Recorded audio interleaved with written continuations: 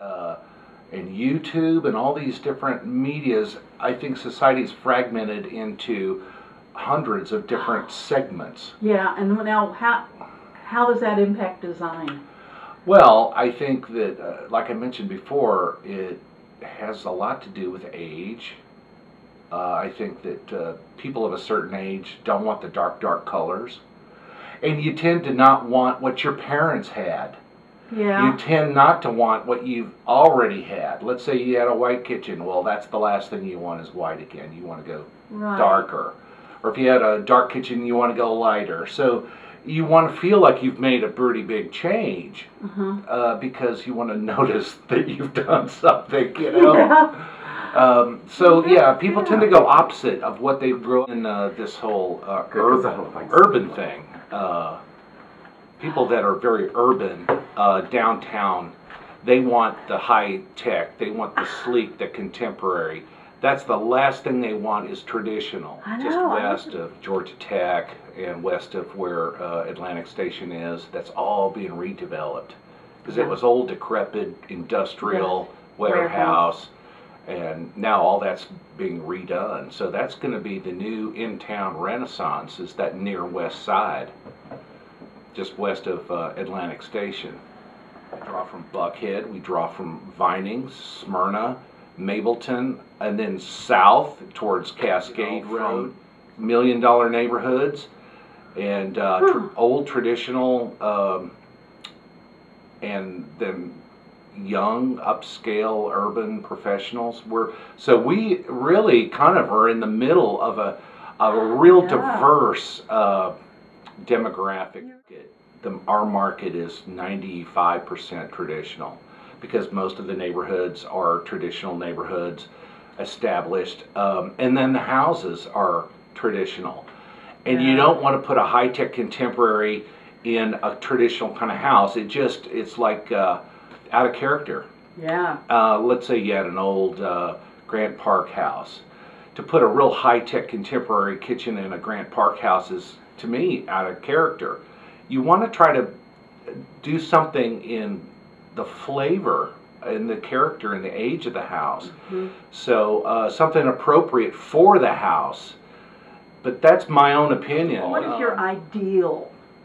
First of all, uh, you want them to be glad to see you, that, that someone told them about you, that you had done their kitchen, or you had a friend that we did their kitchen, and that helps a lot.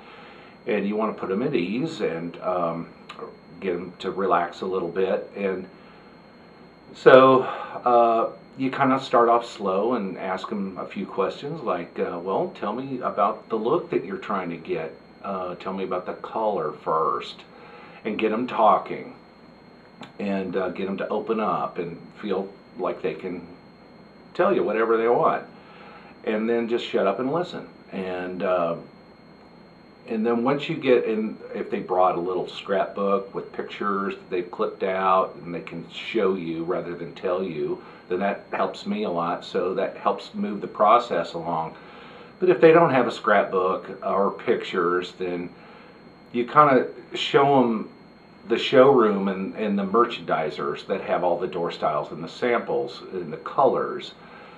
And you try to, I guess, start, well, or you want to go light, dark, mid-tone. I think the color is what, like I said, uh, people struggle with the most. And once they land on the color, then selecting the door style is pretty easy. Either they like it or they don't. So Yeah. yeah, uh, so, and they'll just say, well, I want simple, clean lines, or I want something more ornate, or I want the little braiding borders, and or Yeah. they, they can be a little more specific about that. And once you get those two things out of the way, um, then uh, in this, in sort of a roundabout way, um, you want to ask them about their budget. Yeah, I would first, I would say, well, we've got several different lines here. We've got a stock line called Aristokraft, and uh, that's your best price and your quickest lead time. Then we have a semi-custom, which is uh, a three-week lead time, but you get more choices of door styles and colors and options. And the And what the is that brand? A diamond, Diamond. and then if you want to go higher end, uh, as you go up in price, you get more choices in door styles and colors and options and modifications, customization. So um, depending on how much you want to customize it, that sort of tells me where you want to be, um, and then you want a sense of what their budget is. Uh, ask them: Is is you trying to do this on a budget, or do you, or is this something uh, you're going to stay and live with for years and years, and you're never going to move out of the house, and this is going to be the last major remodeling project. So long term uh, versus short term. Is it a rental? Is this for a quick sale? Uh, is this for me, grandma, or in in-law suite? Uh, you know, ask those questions, and that kind of helps direct me to this is what I want to show you. And once I have a sense of uh, their budget, whether it's low, medium, or high, then that's kind of where I start my present. I ask them questions also about the appliances that they want to use because I need to know that in order to know how to design it. Yeah. So is it a cooktop and wall ovens or is it a range? What kind of hood? Uh, microwaves? These kind of uh, questions. Uh, and very often the people that come to see me, they've been thinking about this for a while and they know that they want a commercial range. And it's going to be um, like a 36 or a 48 or they've got this commercial hood picked out and they've got their appliances picked out. So they've they've done some legwork and some groundwork because they know. So um, if when they give me the appliance information, um, I say, well, uh, all I need to do is get some measurements of the kitchen. If you have those, I can do a takeoff on some measurements that you provided.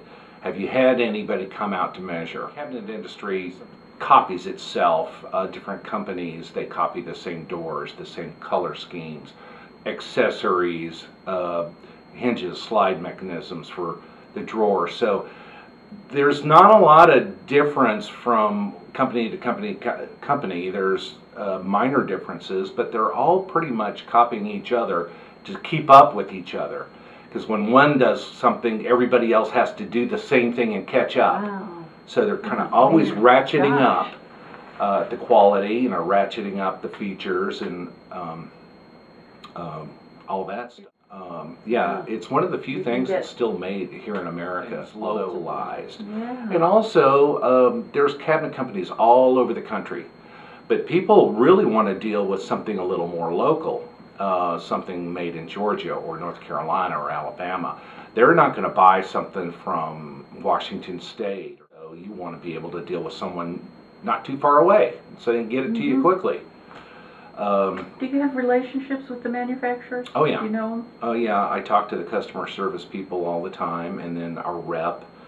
Uh, he's great in uh, keeping us up to date with all the changes, and because there's continuous changes in the Yeah. industry, they're deleting this, they're eliminating that, they're adding this, and there's.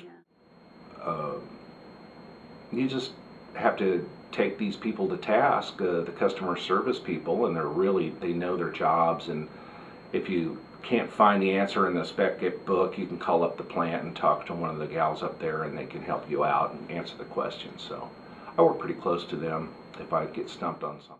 Uh, they've got a catalyzed conversion varnish, which is a high-tech kind of varnish and finish that all these uh, factory-built cabinets put on their products, and uh, you could put nail polish remover on there, and it wouldn't affect the finish Wow. and it's it's so hard and durable that the only way to get it off is to sand it off. Wow.